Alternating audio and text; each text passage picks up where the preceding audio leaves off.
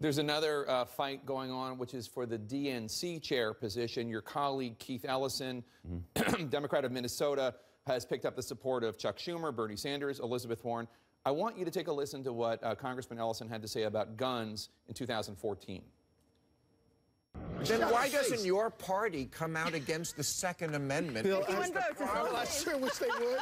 I sure wish they Really? would. Because I never Yeah. hear anybody in the Democratic Party say that.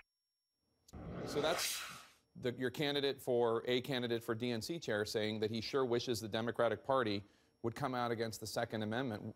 Is that the appropriate leadership for the DNC? Uh, well, that's not uh, my decision entirely to make. I really don't have a, a horse in that fight, um, and so the DNC members are going to have to make that decision. But you want to lead the Democratic Party in the House. Don't I mean you must have a that, position. that, that's not my position. M- my position on guns and gun violence is not to get rid of the Second Amendment. We need people who can, who are sportsmen and can hunt and fish.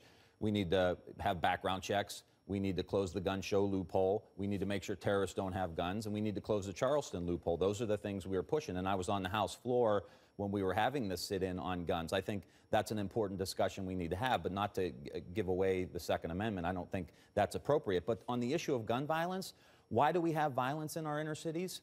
It's economics. We, it's, it's poverty issues. We, this economic message should drive everything we talk about as Democrats. Poverty, middle class wages, gun violence, things that happen in, in uh, rural America. These are economic issues that the Democratic Party has lost its way. And if we want these Trump voters to come back, we need to start talking about these bread and butter fundamental issues that make us Democrats.